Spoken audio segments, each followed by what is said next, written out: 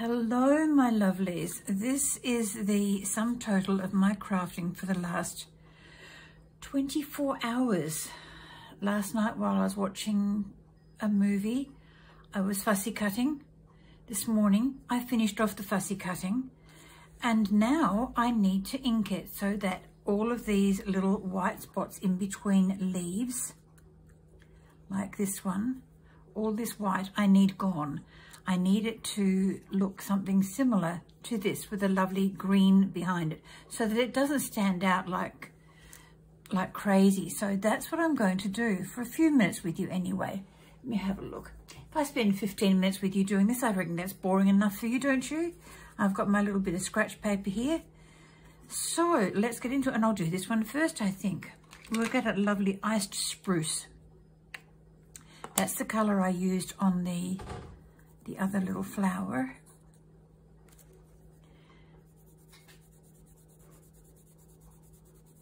So I'm not going to pad this off for now because I need that green in that intense green. I'm just going to move this over a little, or some of them over a little bit so that I can work on my mat. That is going to be a lot easier than trying to pick it up in my fingers and do it that way. So once I get this background done, I can then go and do the edges. Oh, here I was trying to get that out of the way. Silly me.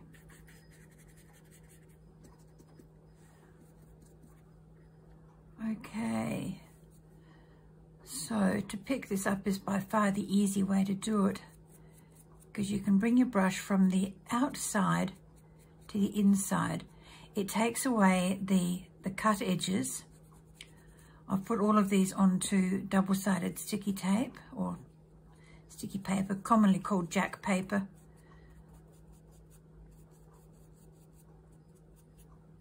My stockist had run out and I looked on Temu thinking I might get a bargain, but no, they're double the price of what I can get from my normal stockist. So I'm going to have to wait for them to put in an order and go in and pick some up later. Double-sided paper, that being.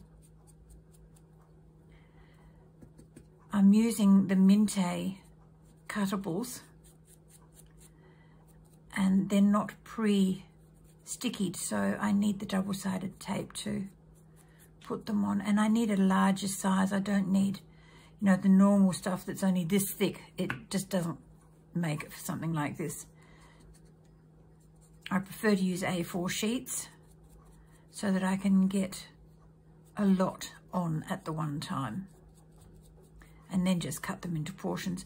I still have half a dozen of these Mintay floral cuttables and uh, I really would like to get them into my usable stash without having to fuss and fight them on videos. Because sometimes it can get a little just boring watching somebody fussy cut and then do this. But I thought this is part of the process and I've got rid of the hard stuff now. All this cutting was starting to hurt my fingers, I've got to tell you. Little scissors and uh, little fine work like this play havoc sometimes with older hands. And I'm not saying that I'm ancient, I'm just getting older.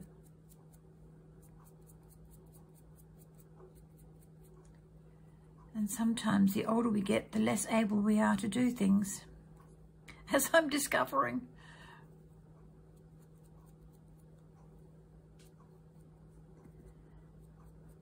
Now, many, many years ago, I laughed at a lady. She said, oh, I can't do what I used to do. And I said, yeah, come off it.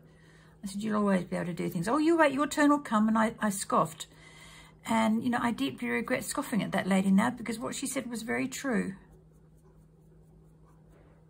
Know, no longer can I play basketball or netball or, you know, run around a an oval doing calisthenics or, or gymnastics or anything like that. I just can't do it. So I have to face the, the not the fear, but the um, reality that, you know, once you get into those golden years, and I'm not quite there yet, but you know, the, the body is starting to, to let me down.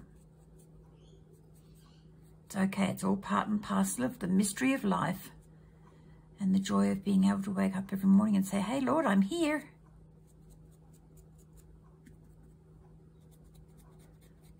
I was only saying to somebody the other day that I'm going to be one of these ladies who's going to play up Mary Heck in, you know, the old aged homes, the retirement villages or whatever. And when I do pass, I hope to go sliding into heaven saying, hey, God, I'm here. Find me a room. I want to be one that they keep saying, I wonder what she's up to now. I wonder what she's up to now. Full of mischief. Okay, that looks pretty good. I want to get those a little bit greener, if I can, along here.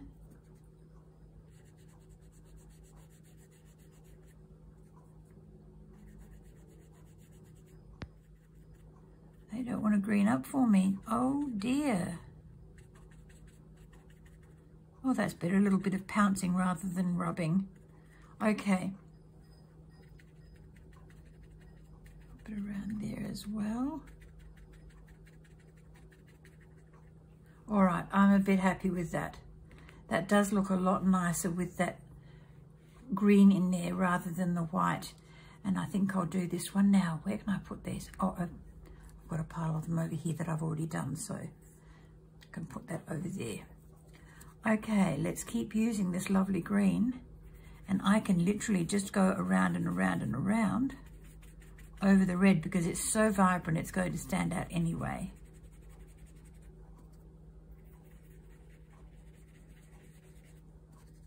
These are beautiful papers and they are very strong cardstock.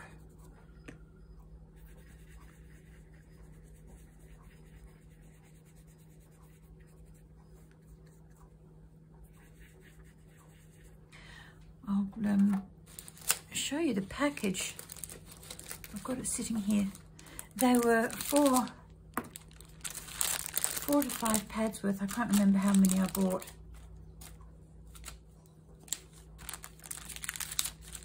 Oh, come on.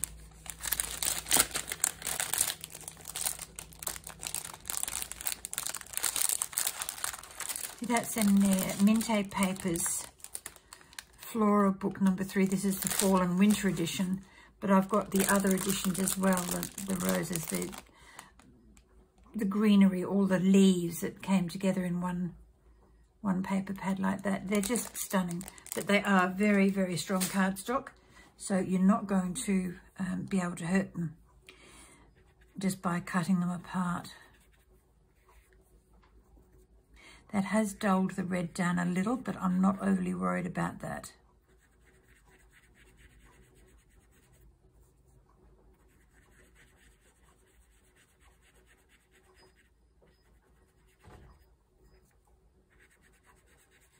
They are just absolutely gorgeous. There's all sorts of flowers. There's the, the purples, the pinks, the blues, the whites, yellows.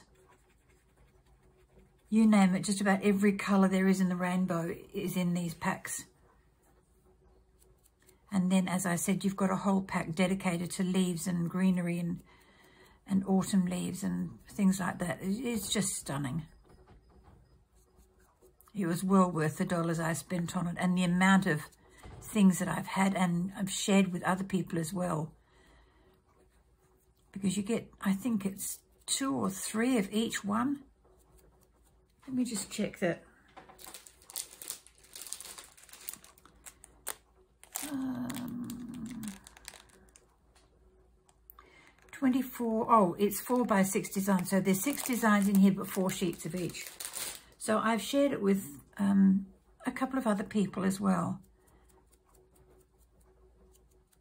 Not that I don't think I would have used them, but you can get a little bit bored using the same thing time and time again, can't you? Okay, that's another one done. I think I'm going to do this one in in the brown walnut stain. Oops get as much green off as I can. This is only a tiny little piece of paper, but it's going to make an absolutely stunning card or something or other when I'm done all this colouring.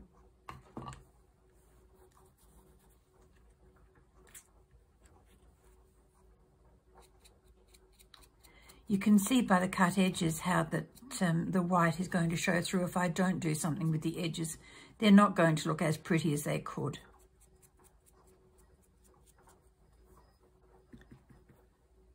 I've got my evening vegetables cooking, my dinner veggies. And I'm having um, chili, chili coated chicken strips to go with the veggies. Haven't had them before, so I hope that the chili is not too strong. I don't want to burn my tummy, burn my mouth.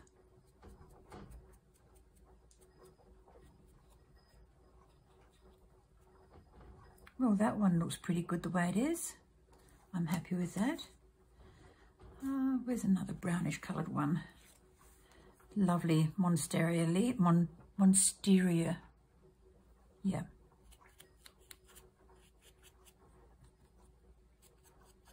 Don't normally see them brown, but I'm not saying that's not something that isn't real because I haven't seen all the plants in the world.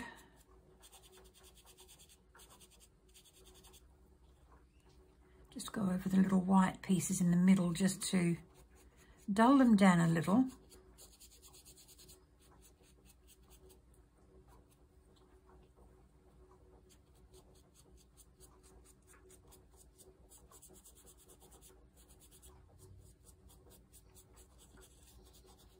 Lovely.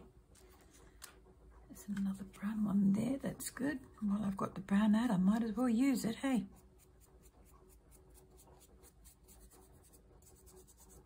This is going to be a little time consuming, this little trick, but it's going to be well worth it. Because I'm going to have all these lovely cutouts that I can use immediately. Instead of having to sit there and interrupt the process by having to fussy cut. That's nice. I like that one too. Where's that other brown one? There it is. Please don't ask me what sort of leaf this is. I have got no idea.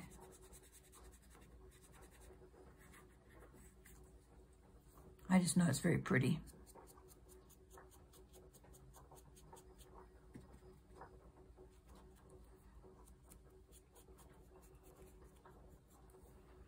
I would be absolutely lost without this little Lavinia brush. It's uh, number three. It's a perfect size for doing these little fine edges.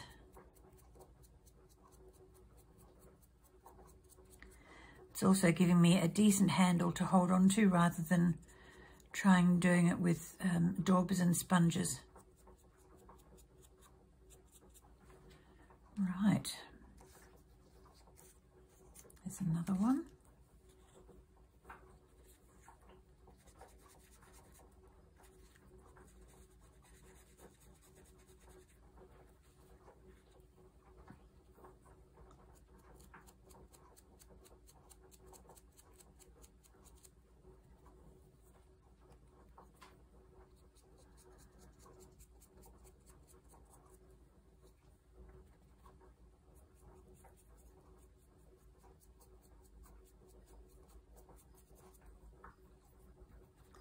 This is it's time consuming, but it's relaxing at the same time, if that makes any sense. It's just uh, something you can do when you've got a few minutes to spare. Uh, do I have anything else? I even cut the the front pages from the pad that I've used, all of it up. I cut those pieces because I thought they would go really, really well as fodder for journals. They'd look very pretty, just sort of resting on the side of a page. I don't, no, I don't know whether to colour them or not, so I'm going to leave those for now. But let me have a look here. Oh no, can't use that in brown. Have I got anything else that I could do brown on? Could do think I'd rather use another colour for the reds now. Now, we've Still got a few minutes left. I've set myself a little time limit today because I know this could get a little bit time consuming and I also know that you don't want to sit here for half an hour watching me just edge things. Now this is aged mahogany. It's a beautiful rich colour and it goes perfectly with the red even though it's in the browner range, believe it or not.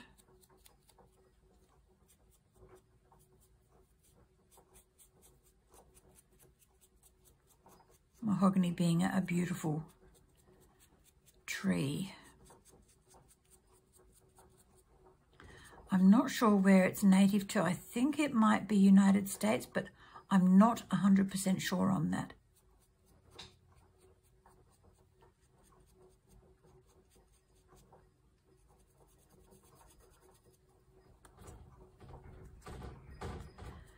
But it is beautiful, even though it's a, a timber colour. It goes really, really well with the reds.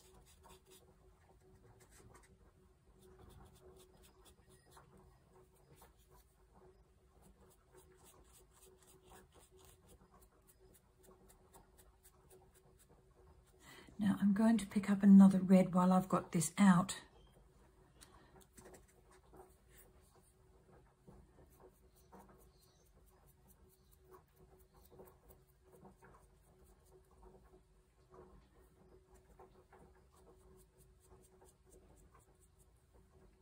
Very sweet little flower, this one, isn't it? Real little space filler, this one. And done. Now, I'm, I know I'm only doing part of these, but there is method in my madness, and I'm sure you know what it is. Use this colour while it's out, and then come back and do the greens.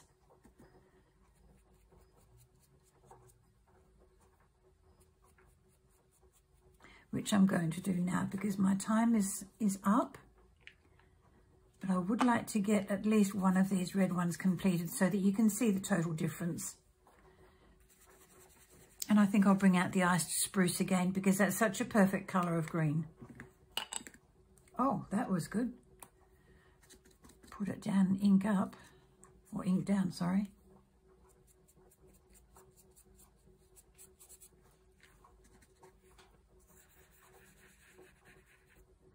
There's still a little red in that brush from the mahogany, but it will still work, I think.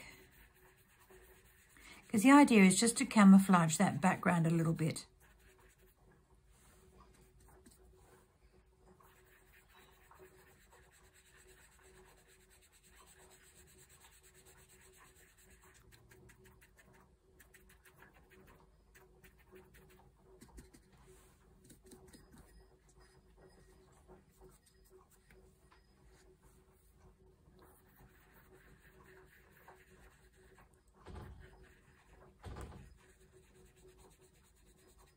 Beautiful.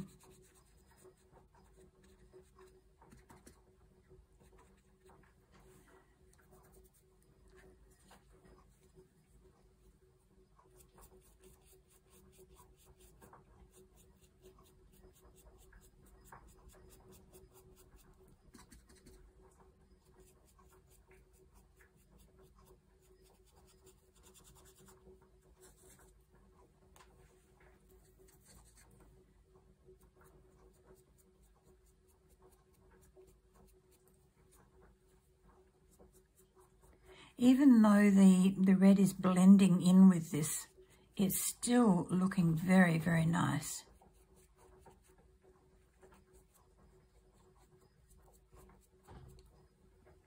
You can just see the colour of the red coming through a little bit here and down on the, the lower stem, but I still think it looks pretty.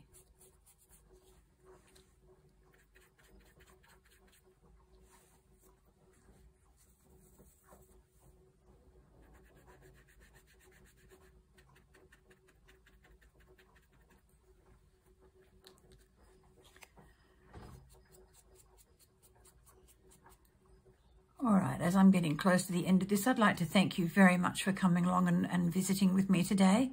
It's always lovely to have your company. and I love to read comments, so please leave one. I will answer you, even if it's just a little red heart to say, hey, I've, I've, I've read your comment and I thank you. Because I've been missing your comments because I haven't been asking for them. You're not giving them to me. So please leave a comment. There we go.